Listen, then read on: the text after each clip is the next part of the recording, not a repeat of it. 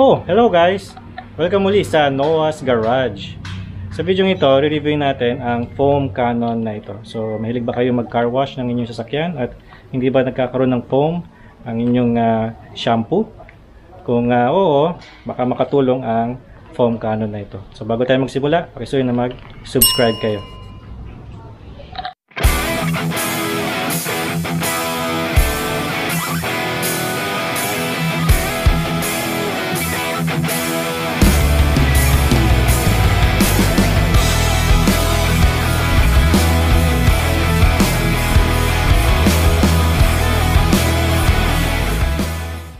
Hi guys, so short video muna tayo ngayon. Reviewin natin itong nabili ko sa Lazada na professional snow foam cannon, no? So, familiar ba kayo sa foam cannon, guys? Yung uh, foam cannon, yan yung uh, replacement na nilalagay sa ating mga pressure washer. 'Di ba, merong mga shampoo canister yung mga pressure washer natin. Alam natin na hindi yun effective, ano? Para makagawa tayo ng uh, foamy na shampoo dun sa ating sasakyan kapag uh, nagsabon tayo kailangan nyo ng foam cannon. So ano ba ang difference nitong foam cannon na ito? So sa package ito lang siya no? Yan lang siya. So buksan natin.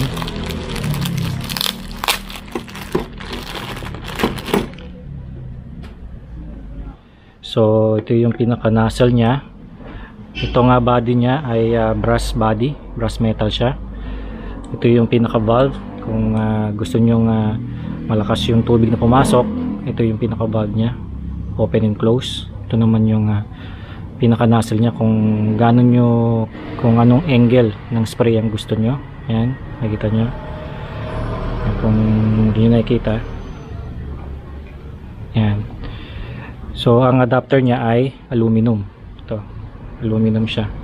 So ito nga palang uh, foam cannon na ito guys ay uh, compatible lang sa Makita, Bosch, tsaka Black Decker. Yung uh, pressure washer ko, Black Decker yon lumang modelo na Black Decker. So, ganito yung kanyang adapter. So, ang uh, kagandahan ng foam cannon guys, masyado siyang maliit yung pinaka orifice niya sa loob. Meron niyang tinatawag dito sa loob yung orifice. Uh, 1.1 ito ayon sa specifications. So yun yung pinaka maganda talaga 1.1. Kung bibili kayo ng foam cannon, 1.1 orifice ang bibilhin ninyo no? Hindi 1.4 1.5 malaki yun. So hindi siya makapag-create ng foamy na sabon no? Pagka i-pressure niyo yan sa i-spray niyo sa sasakyan ninyo hindi siya foamy.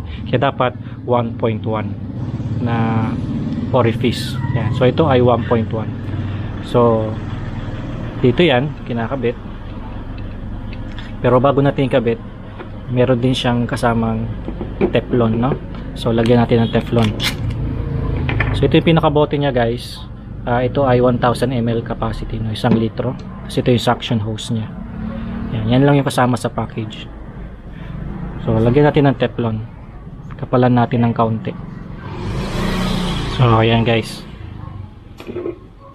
So kabit natin yan So ito ang uh, ito yung uh, sa pressure gun ninyo, pressure washer gun. Tapos ito yung nozzle, no? Tapos itong uh, hose niya kabit natin.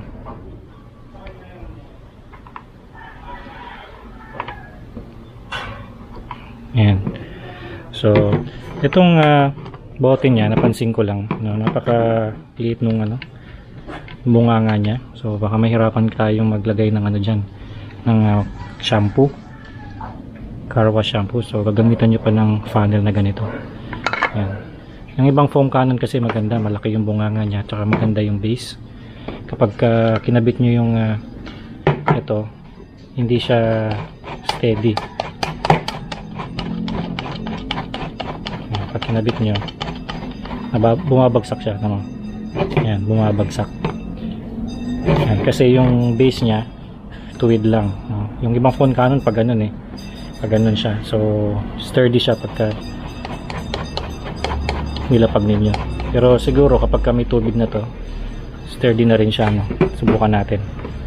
So test natin ngayon to guys para makita natin kung talagang nakakapag-produce siya ng foam okay so meron tayong uh, car wash shampoo dito so lalagyan natin siya hanggang dito lang siguro tapos the rest tubig okay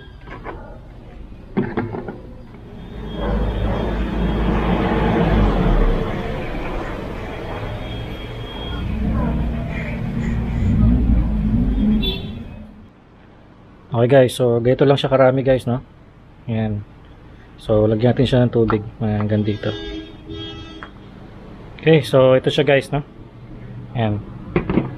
So, kabit natin.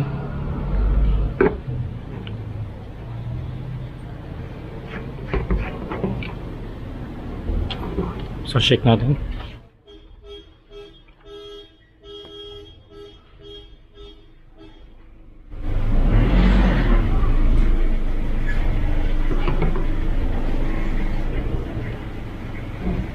Ngayon, i-attach natin yan dito sa ating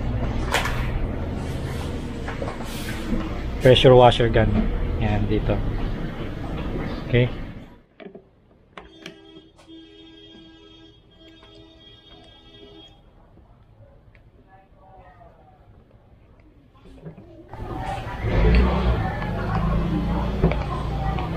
Ayan. So, try natin. Excited na ako.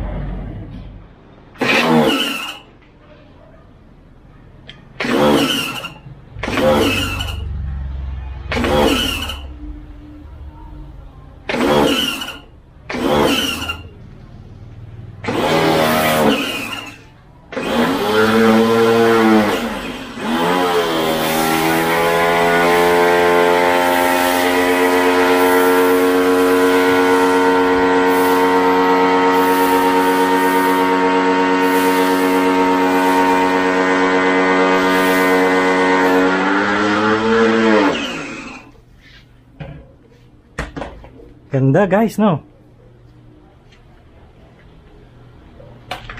Foaming foamy!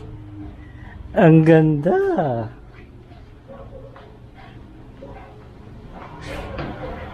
Ayos guys, no? Ganda. Ganda tong uh, foam cannon na ito.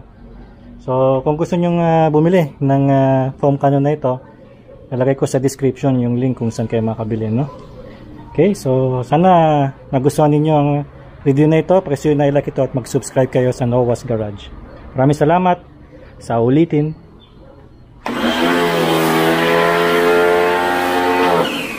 Ganda no?